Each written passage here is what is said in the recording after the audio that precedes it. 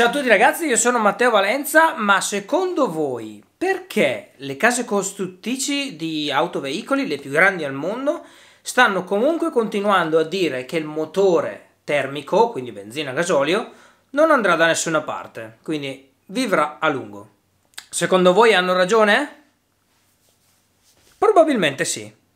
In questo video parleremo appunto del perché, secondo me, le auto a combustione avranno ancora una vita molto lunga e quali sono le principali problematiche che stanno affrontando ora le auto elettriche. Allora, lo scopo di questo video non è assolutamente convincervi a non comprare un'auto elettrica. Io ho un'auto elettrica e ne sono veramente molto entusiasta, come potete immaginare. Ma vi voglio dare delle informazioni e delle nozioni di base diciamo del perché in questo momento l'auto elettrica sta soffrendo un pochino la differenza con le auto a combustione e del perché è ancora utile migliorare il motore a combustione.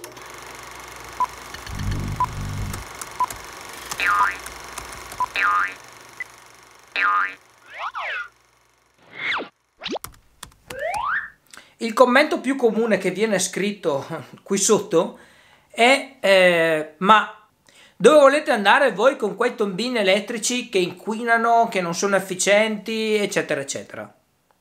Quindi questo video diciamo che è eh, una mia spiegazione personale a voi e a tutti quelli che commentano in tal senso del ok, proviamo ad analizzare insieme la situazione.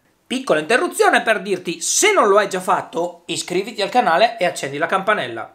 Già che ci sei, se sei un tipo da Telegram, puoi anche iscriverti al gruppo Telegram e se proprio proprio, iscriviti ad Instagram e anche a Facebook, così.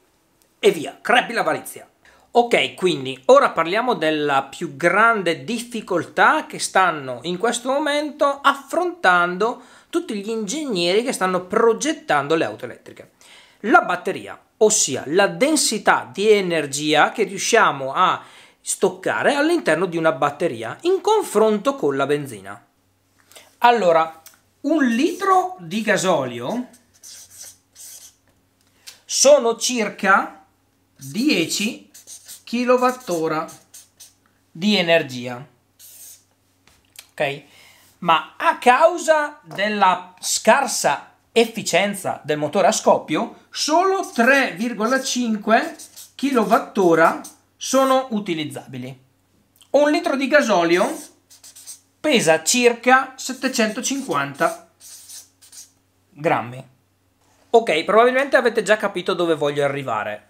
Se una batteria da 75 kW, che è la batteria, diciamo, della mia Tesla Model 3, viene diciamo messa a confronto con il gasolio dobbiamo fare una semplice operazione matematica. Facciamo 75 kW diviso 3,5 hey Google fammi 75 diviso 3,5 la risposta è circa 21,428.571 vabbè 21 quindi prendo il blu così Risa è contenta. Quindi 21 sono i litri diciamo equivalenti di gasolio di una batteria a 75 kWh che diciamo è già una batteria con tanta autonomia. Ok 21 litri. Ok Google fai 21 per 750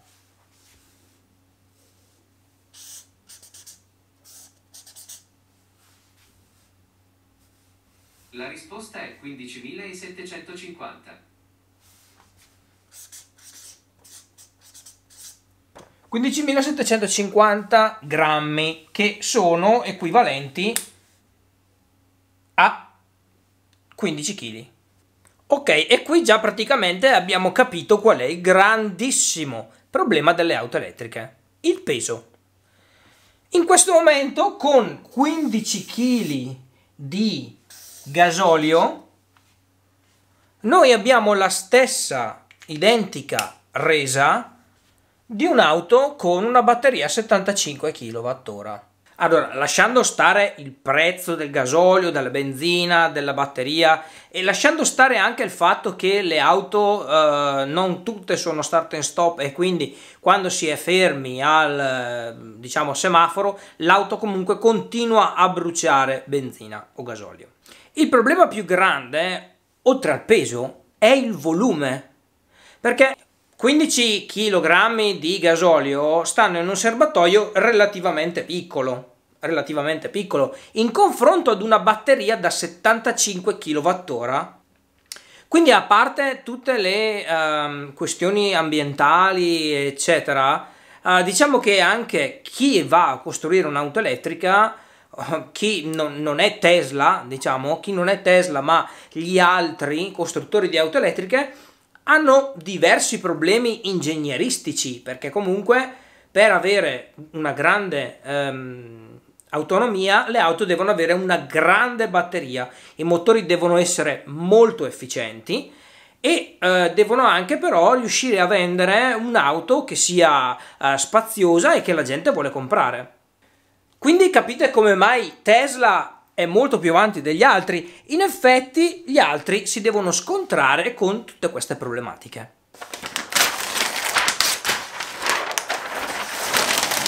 Allora, in base alle mie ricerche, una cella singola di una batteria ha una densità di energia massima di 650 Wh. Per avere una batteria da totale 75 kW,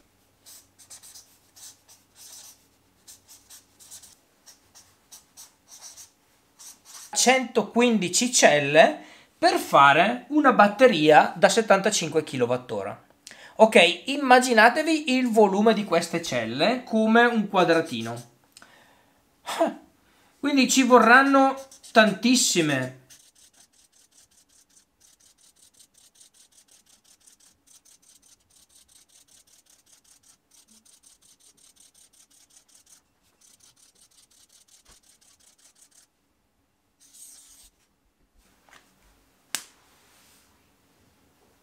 E diciamo che più o meno lo spazio per eh, il gasolio sia questo. Quindi a questo punto il volume è molto molto importante e all'interno di un'auto il volume è diciamo fondamentale. Quindi per fare le auto elettriche al momento le auto devono comunque essere grandi, oppure bisogna sacrificare completamente eh, diciamo lo spazio del bagagliaio. In effetti più grandi sono i veicoli, più grandi sono anche le batterie. Provate a guardare Model 3, Model X e Model S. Model 3 ha una batteria da 75 kWh, mentre Model X e Model S hanno una batteria più grande da 100 kWh.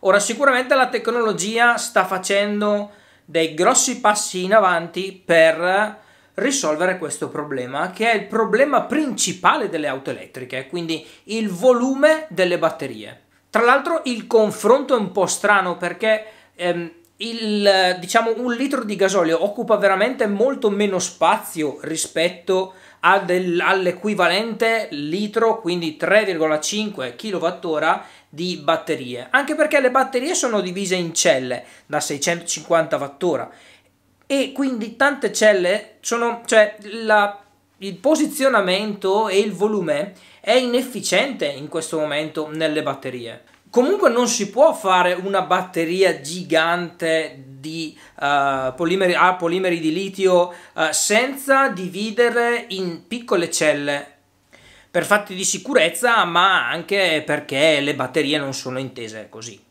Beh, per quanto riguarda il peso, che è molto importante in un'autovettura, le auto elettriche pesano notoriamente di più, ovviamente perché hanno la batteria.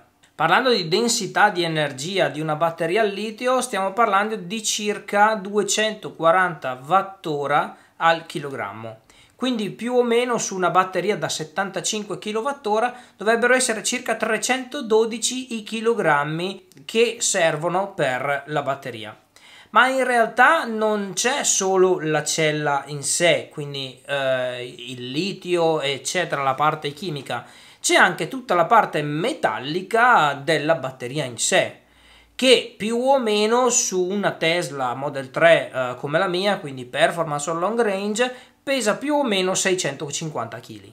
Oltretutto c'è il liquido refrigerante all'interno, quindi ci sono tutta una serie di uh, cose e componenti che aggiungono sicuramente tanto peso alla batteria. Quindi se oltre alle auto proviamo anche solo a pensare ai prossimi sviluppi delle batterie e della mobilità elettrica, se pensiamo per esempio agli aerei, in questo scenario, in questo momento, se noi pensiamo ad un aereo che viaggia con le batterie elettriche, dovremmo avere, eh, avremmo un aereo molto molto pesante che probabilmente non avrebbe più spazio per mettere le valigie dei, uh, delle persone che poi ci vanno e molto probabilmente poche persone potrebbero viaggiare con quel tipo di velivolo e molto probabilmente volerebbe per poco tempo.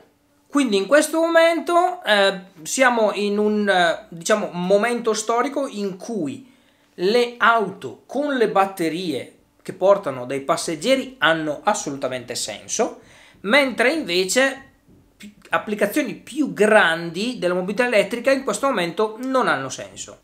Ma la buona notizia è che la tecnologia delle batterie si sta muovendo molto molto velocemente. Quindi probabilmente entro fine anno questa parte di batteria non sarà più utile. Oppure avremo la stessa parte di batteria però con un'autonomia veramente maggiore. Utilizzando poi tecnologie diverse come le batterie allo stato solido e le batterie al grafene, probabilmente arriveremo ad uno stadio di questo tipo, ma probabilmente sarà molto difficile riuscire ad arrivare qui. Ed è per questo che tanti costruttori di automobili stanno ancora investendo sull'innovazione del motore termico. Ok, siamo arrivati adesso alla questione dei costi. Effettivamente acquistare un'auto elettrica in questo momento costa più o meno 10.000 euro in più di un'auto dello stesso segmento. Però qui facciamo un po' il gioco uh, del gatto che si morde la coda. No, è il cane in effetti che si morde la coda. Se nessuno compra le auto elettriche per questo motivo, ovviamente le auto elettriche verranno prodotte di meno e quindi il costo rimarrà tale. Più auto elettriche vengono prodotte, più auto elettriche vengono vendute, più la ricerca andrà avanti e molto probabilmente anzi sicuramente, il costo calerà sensibilmente. Questa non è sicuramente una transizione che si avrà nel brevissimo tempo, però io mi auguro che almeno in 5 anni avremo delle auto elettriche più piccole, più leggere e più efficienti di oggi. Effettivamente però non credo che sia questo il problema, diciamo, delle auto elettriche, cioè il fatto che costino tanto e quindi la gente non le compra perché costano tanto. Quasi tutti compriamo nuovi giochi, quindi non è tanto quello. La, comprare un'auto è una cosa che ti viene da dentro, cioè eh, ancora adesso non so se sia un bene o un male, ma è una cosa che sentiamo, eh, che ci dà ci, ci fa uh, venire la pelle d'oca quando andiamo a provare un'auto, la vogliamo comprare, perché comunque fa parte di noi la nostra vettura. Non è tanto nella nostra società comunemente una uh, cosa che ci porta da un punto A a un punto B, quindi un mezzo per ottenere un fine. Se tutti pensassero al costo totale dell'avere un'auto, mm, nessuno andrebbe a comprare un Ferrari, una, tutti, tutti, quei brand uh, potentissimi di auto bellissime, nessuno probabilmente comprerebbe quelle, andremmo tutti in giro con la Fiat Panda. Beh, quindi allora ora proviamo a parlare un po' di ambiente. Uh, da uno studio uh, si evince che circa 2 o 3 miliardi di autovetture saranno vendute da oggi fino al 2045. Quindi, visto che comunque queste autovetture verranno vendute, perché non migliorarle? Quindi io credo che comunque sia fondamentale che la ricerca vada avanti a studiare e a migliorare, a rendere più efficienti, a renderli eh, più green anche i motori eh, a combustione interna. Questo mio video è per rispondere a tutte quelle persone che hanno ancora dubbi e ancora si domandano come mai le auto elettriche non abbiano sfondato completamente il mercato. Allora, visto che le auto elettriche sono uh, green, super positivo, funzionano benissimo, si ricaricano velocemente, bla bla bla, perché ancora il diesel è comunque studiato e portato avanti? Bene, queste sono le mie impressioni personali. Mi raccomando, lasciate un commento se vi è piaciuto questo video, mettete like e iscrivetevi al canale se non l'avete già fatto. Nel frattempo io poi vi ricordo che se volete acquistare una nuova Tesla potete utilizzare il codice qui a, qui a fianco per avere 1500 km gratuiti di ricarica al supercharger. Per oggi è tutto ragazzi, noi ci vediamo al prossimo video, grazie di essere stati con me, ciao!